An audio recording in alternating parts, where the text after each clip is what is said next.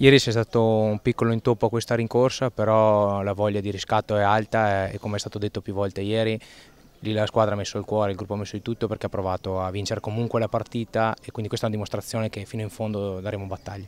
Ma sì, purtroppo sono, sono serate che, che, possono capitare, è chiaro che pesano perché siamo alla fine e ogni partita è vietato sbagliare no? e quindi i punti sono sempre più pesanti. E poi è il secondo pareggio consecutivo dopo quello di Cesena dove meritavamo in pieno la vittoria e magari se fosse venuta anche il pareggio di ieri in una serata magari non come le altre poteva essere più dolce oggi. Però, però la squadra nonostante la, la serata storta ha avuto eh, due o tre palle per poterla vincere quindi non ci siamo arresi.